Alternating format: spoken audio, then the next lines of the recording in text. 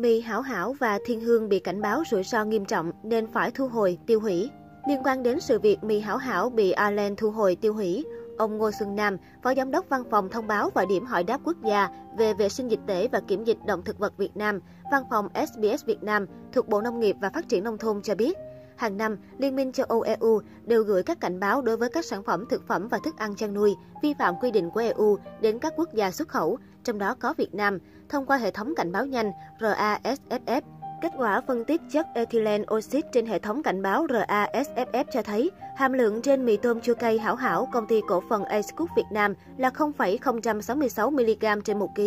và hàm lượng trên mì khô vị bò gà của công ty cổ phần thực phẩm Thiên Hương là 0,052mg trên 1 kg. Ông Nam nhấn mạnh, theo chỉ thị số 91 trên 414 trên EEC của EU, hàm lượng ethylene oxide trong các loại thực phẩm này phải dưới 0,05mg trên 1 kg.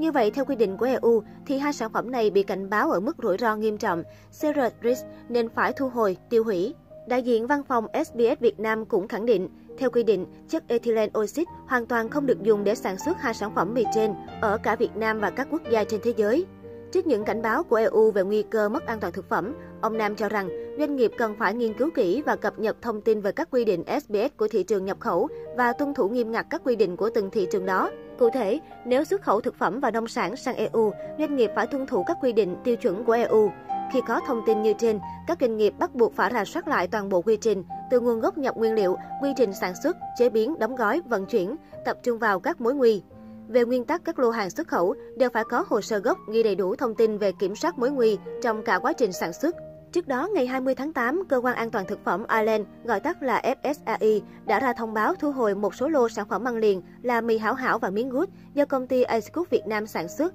có chứa chất ethylene oxide. Đây là chất có hại cho sức khỏe con người và không được phép sử dụng trong thực phẩm phân phối tại Liên minh châu Âu EU. Theo thông báo trên trang fsai.ie, hiện có 3 dòng sản phẩm trong danh sách thu hồi của FSAI, bao gồm hai sản phẩm của Việt Nam là mì tôm chua cay hảo hảo và miếng gút vị sườn heo, đều do công ty Ace Cook Việt Nam sản xuất, và một sản phẩm có xuất xứ Trung Quốc, đó là mì Yato vị hải sản. FSAI cho biết, việc tiêu thụ các sản phẩm nhiễm ethylene oxide tuy không gây nguy hiểm cấp tính cho sức khỏe, nhưng có thể gây ung thư nếu thường xuyên sử dụng trong thời gian dài. Do đó, người tiêu dùng cần hạn chế việc tiếp xúc với chất này. Do đó, FSAI đã quyết định thu hồi lô sản phẩm trên tại các điểm bán chịu trách nhiệm phân phối. Đến ngày 28 tháng 8, EU tiếp tục đưa cảnh báo sản phẩm mì khô vị bò gà có tên tiếng Anh Fried Noodles with Chicken and Beef Spices của công ty cổ phần thực phẩm Thiên Hương và thu hồi lại mặt hàng này ở thị trường Na Uy. Đại diện công ty Ace Cook Việt Nam nói, lô hàng bị thu hồi là sản phẩm xuất khẩu, không liên quan đến những sản phẩm nội địa tại Việt Nam.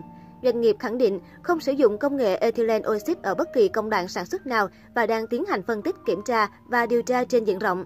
Trong khi đó, đại diện công ty Thiên Hương cho biết, lô hàng mì khô vị bò gà đang bị thu hồi là sản phẩm gia công xuất khẩu theo đơn đặt hàng riêng của đối tác tại Na Uy. Công ty cũng khẳng định toàn bộ sản phẩm được gia công nghiêm ngặt, không sử dụng ethylene oxide trong bất kỳ khâu nào. Ngoài việc cung cấp mẫu phẩm cho cơ quan quản lý, Thiên Hương đang kiểm tra, sàng lọc, phân tích và đánh giá diện rộng ở tất cả khâu nguyên liệu, thiết bị, quy trình gia công sản xuất. Công ty cũng sẽ kiểm chứng thông tin sản phẩm gia công tại thị trường Na Uy. Trước đó, vào cuối năm 2020, Hàn Quốc cũng thu hồi một số vỏ đóng gói của công ty cổ phần Acecook Việt Nam vì được cho là có chứa hàm lượng benzoapiren vượt quá giá trị tiêu chuẩn trong dầu hương liệu có trong sản phẩm. Acecook Việt Nam đã phản hồi, đó là những sản phẩm vỏ ăn liền Biscoop được gia công theo đơn đặt hàng của Imac Hàn Quốc. Đây là sản phẩm xuất khẩu không lưu hành tại thị trường Việt Nam. Thời điểm đó, đơn vị này còn thông tin, từ quá trình ra soát, hãng phát hiện chất benzoapiren phát sinh từ thảo quả sấy khô, một loại nguyên liệu gia vị thô được sử dụng trong gói dầu của sản phẩm vỏ ăn liền, chứ hoàn toàn không phát sinh trong bất kỳ công đoạn sản xuất sản phẩm nào của nhà máy Ace Cook Việt Nam.